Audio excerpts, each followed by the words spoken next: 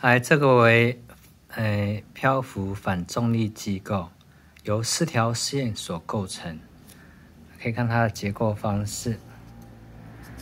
一般绳子只能往上提，而这东西为什么不会往下掉嘞？是谁把上面的三脚架给提起来的？这四根绳子，你能够知道是由哪条绳子所支撑的吗？好，我们再反过来，一样也是可以支撑的。可以看一下上半部的结构，它是怎么被拿起来的？是由外面三条线，还是有中间这条线呢？好，我们用透透过缅甸粘土来控制它绳子的张力。接下来，我把一条开飞机往上撑着，可以发现到它可以撑起来。我们的冰棒棍是蛮脆弱的一个材质。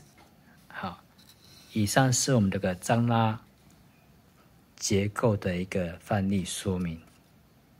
好，我们来看各种角度示范说明。好，再想想看，上面的结构是怎么被拿起来的？好，谢谢。